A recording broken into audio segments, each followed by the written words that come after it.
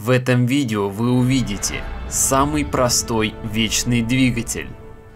Вот сейчас в режиме генерации, вот горит свет от генератора, уже работает. Изобретатель просто в гараже взял и собрал вечный двигатель. И все потому, что мы люди. Мы всегда стремимся к лучшему. Создать то, чего не должно.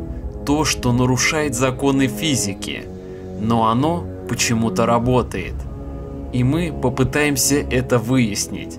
Так что мы начинаем. Всем привет, друзья! С вами Рафаэль Анриэл и добро пожаловать на канал запрещенных технологий. И в этом видео вы увидите самый простой вечный двигатель. Сидел я как обычно в своем телеграм-канале, ссылка на него будет в описании, и наткнулся на одно интересное видео, которое мне скинули подписчики. Называлось видео БТГ своими руками. В видео изобретатель рассказывает, как в гараже сделал из восьми асинхронных моторов, соединенных как бы каскадно, вечный двигатель. И у него получается запускать эту установку и снимать халявную электроэнергию. Давайте же посмотрим, как это работает, и потом проведем небольшой опыт с гироскутером. Там моторы примерно одинаковые. Демонстрирую вам БТГ на 9 киловатт. Вот так он выглядит. Генерирующие 4 асинхронные двигателя. Здесь установлены ведущие двигателя. Я сделал по своей системе. Э, увидел один э, французский изобретатель, француз, сделал э, генератор на неодимовых магнитах. Ну, естественно, они не работают. Я их применил, тоже неодимовые магниты, но с другой целью, как бы для э, передачи. Они, естественно, не потянут такую мощность. Ну, я сделал по-другому. Здесь у меня установлены редуктора как бы идет за счет редукции, кинематики. Вот все это дело сделано. Есть один недостаток э, в этом генераторе, что генерировать можно, свет светит, генерировать можно, значит, вот 4 э, двигателя у меня стоит и получается 4 розетки. Ну, можно, я пятую поставил, но вообще 4. Вот это один недостаток, что с генератора можно снимать, с одного генератора снимать э, напряжение, одну э, розетку ставить. А так, в общем, ничего. Вот система управления, это на ведущие двигателя, э, э, вот эти вот, которые вращают все остальное. Запускается он от сети. Ну, можно, конечно, запускать его от бензо какого-то двигателя. Я вот сделал провод, неудобно сам снимаю с двумя вилками. Включаю одним из генераторов и сетевым напряжением запускаю один из генераторов, потом от одного включаю ведущие двигателя и так последовательно я запускаю весь генератор. Сейчас все вам покажу. Работает, да, и еще одно. Э, конденсаторы. Лучше всего применять вот эти наши старинные, проверенные, хорошие конденсаторы. Но их у меня мало. Взял я вот это дерьмо, не ставьте их никуда. Гадость редкая. У меня два штуки уже сгорело, даже три. Они дорогие, но вылетают один за другим. Негодные это.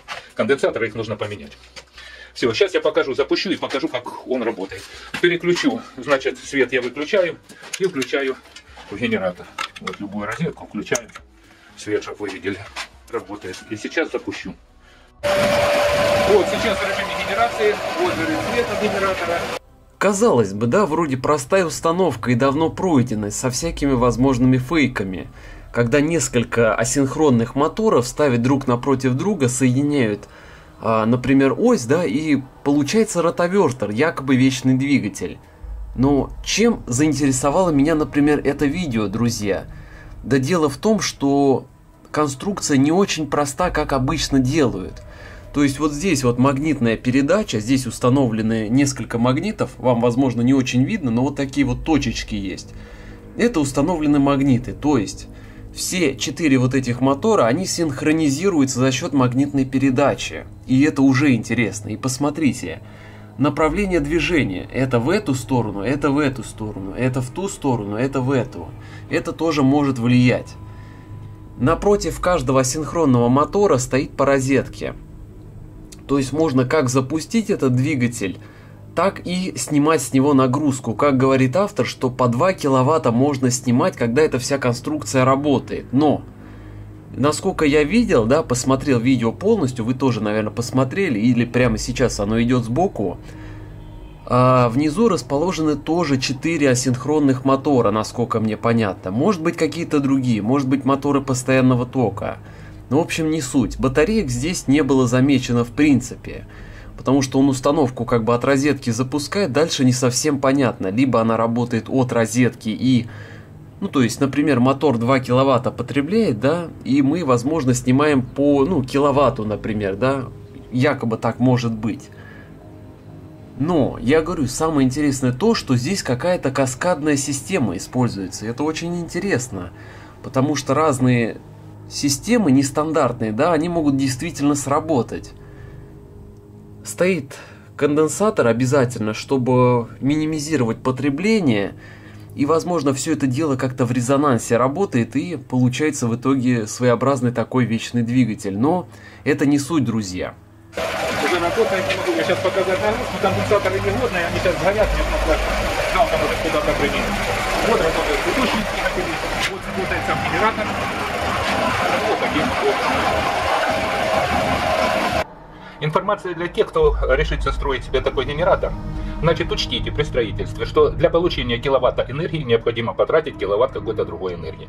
Поэтому э, на внешний вид машина вроде бы как и простая, все ясно, все понятно, но не так все просто. Поэтому считайте, все просчитывайте, иначе работать не будет. И правильный подбор конденсаторов. Вот и все. Удачи, кто будет э, строить такую вещь. Конечно же, все это дело нужно рассчитывать. Просто так оно не получится. Нужно все продумывать, просчитывать. Но, тем не менее, схема рабочая, можно использовать. Ну вот по недостатку я вам сказал. Ну, смотря для каких целей. Меня, например, устроит это все, что одна розетка. Вот, к примеру, асинхронный двигатель 2 киловатта, да, то есть у вас напряжение в одной розетке будет 2 киловатта. Все. Ну, и так 4 штуки. Соединить их вместе не получится. Можно их соединить, они выровняются, все нормально и по частоте, и по напряжению выровняются. Но дело в том, что их не потянут ведущие двигатели, а по-другому они работать не будут. Вот такая вот система. Что вам хотел показать. Следующее, я сейчас занимаюсь водородной установкой для автомобиля. Более мощной, более усовершенствованной, более красивой. Э, в скорости покажу ее, дособираю и покажу. Есть там нюансы, которые доделываю изменил немножко еще схему ячейки. В общем, думаю, что должно быть неплохо. Результаты э, исследований моделькой. Моделька показала себя хорошо, очень хорошо, поэтому я сейчас делаю. Надеюсь, что что-то получится. Потом покажу это все. Даже если не получится, тоже покажу. Но надеюсь, что получится. Так, ну что, друзья, есть у меня два вот таких вот бывших гироскутера, скажем так. Ну что, друзья, есть, значит, вот такие вот моторы одинаковые. Выходят по три провода, так же, как у асинхронного двигателя. Но самое что интересное, друзья, да, как это может относиться вообще к физике и к БТГ-генераторам, и данному видео, которое мы видели на экране. А, смотрите, такой небольшой эксперимент вам сейчас покажу. Сейчас сделаю подставку небольшую. Так, надеюсь, вам прекрасно все видно. Если нет, уже извините меня. Смотрите. Провода разомкнуты. Внутри располагаются по кругу магниты неодимовые, достаточно мощные.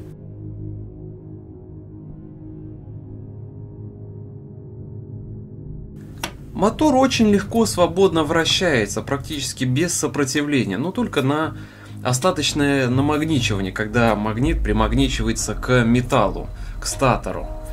Вот, и что у нас получается, смотрите, замыкаем две обмотки, Смотрите. Слышите? Мотор сопротивляется, как, я не знаю, просто как будто это ручник включили какой-то, смотрите. Я всего лишь два провода замкнул. Смотрите, что произойдет, если мы три провода замкнем. То есть это чистая классическая физика у нас получается. Мотор у нас до такой степени сопротивляется, что он практически плывет в этом торможении. Ну как вам сказать, как будто в гудроне мы катимся в каком-то. То есть вот это вообще тяжело провернуть. Но самое интересное, давайте отложим этот гироскутер немножко в сторону. Такой разобранный для эксперимента. Возьмем другой мотор, помощнее. Этот мотор имеет вот такие вот встроенные лампочки, не знаю видно или нет. Они прямо впаяны в сам мотор. Если мы крутим мотор вот так вот, да, для удобства я снял резину, чтобы, как бы говорится, было видно все наглядно. Этот мотор помощнее. Смотрите, что происходит с мотором помощнее. Опять то же самое, но торможение, друзья, в этом моторе гораздо сильнее. Все опять по классике получается, да? Где же, где же хваленый БТГ генератор? Все же, все же по классике, вот. Получаем электроэнергию, например, да, короткое замыкание. То есть якобы тут у нас потребитель стоит. Этот мотор где-то на 250-700 ватт может быть. Вот плюс-минус в этом диапазоне. Или скорее всего 500 ваттный. В общем, получаем электричество, замыкаем, да? Причем этот э, мотор является очень хорошим генератором. На малых вот таких оборотах он может спокойно 12 вольт выдать. Как только отпускаем, все спокойно работает. Замыкаем все, все концы. И вот этот вот мотор, его просто нечеловеческой силой нужно обладать, чтобы провернуть. Но самое интересное, что замечается, друзья, когда всевозможные синхронные вращения – если вот эти концы подключить сейчас к другому мотору и одновременно все крутить, да, мотор тоже сопротивляется, потому что нагрузка как бы идет на другой мотор. Но при этом, если мы в такт попадаем, да, когда тот мотор тоже второй начинает крутиться, а торможение на первом генерирующем практически прекращается. То есть я, я даже не знаю, как сказать, каскадно что ли работают они. То есть как-то они внутренне синхронизируются и потребление, ну, грубо говоря, потребление, да, то есть вот это вот торможение, его здесь просто нету. Хотя первый вот этот генерирует. Так, сейчас, значит, что мы делаем? Просто соединяем фазные провода моторов. Три провода соединяем и посмотрим, что из этого получится, да? Насколько мы понимаем, то есть моторы у нас тормозят, если все делать по-обычному. То есть, если замыкаем, идет лютое торможение. Замыкаем, лютое торможение. Все, больше ничего. Как, как бы мы ни делали, тут ничего не получается. Соединяем все провода вместе. Желтый с желтым, например. Главное, чтобы они именно соединились. Смотрите, что получается, да? Видите? В тот момент, когда второй мотор-колесо начинает от произведенной электроэнергии крутиться, оно крутится свободно. То есть первое крутится тоже свободно. То есть вот, смотрите, да? До того момента, пока моторы не синхронизировались, не начали вращаться одновременно. То есть этот мотор производит электроэнергию, в эту попадает. Как только этот начинает спокойно двигаться, второй уже не тормозит. Видите, в обратную сторону не работает, не подходит. То есть какой-то синхронизации нет. Вот с этого работает. И то тоже не всегда. Надо как-то попасть тоже. Видите, раз. Как только попадаю, этот мотор начинает крутиться. И меня навеяло на одну интересную мысль, да, что если вот вся эта система вот объединена будет как вот э, у нас в видео, то возможно с этого что-то и получится. Причем такие моторы от гироскутера достаточно дешевые получается, если я брал гироскутер один за полторы тысячи, другой за тысячу рублей. То есть это не такие уж большие деньги, при этом получаете огромную э, возможность экспериментировать с такими вот интересными моторами.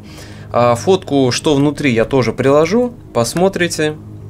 В общем, вот так это дело работает. Видите, начинает крутиться и э, уже спокойно. А тот момент до кручения, да, оно двигается тяжело. Потому что мы как бы потребляем очень много, моторы очень мощные. Но после этого мотор начинает ничего не потреблять. Когда сам крутится, понимаете? То есть электроэнергия-то вырабатывается с этого мотора. Вот как это объяснить? Возможно, это один из интересных эффектов, а возможно, это просто ерунда. Но, как говорится, пока не проверишь и с этой установки, именно с этих моторов не построить вот такую же установку, как на видео, то, я думаю, мы никогда не узнаем, будет ли это работать или нет. Ну что, друзья, на этом все. Вот такой небольшой экспериментик с гироскутерами и соединением моторов. Надеюсь, что вам понравилось. Подписывайтесь на канал, ставьте лайкусики, делитесь этим видео и скидывайте интересные видео из интернета. То есть, если что-то вы изобретаете или что-то очень интересное увидели, обязательно скидывайте мне в телеграм-канал. Ссылка будет в закрепленном комментарии и в описании, как всегда. В общем, пока-пока, до скорых встреч.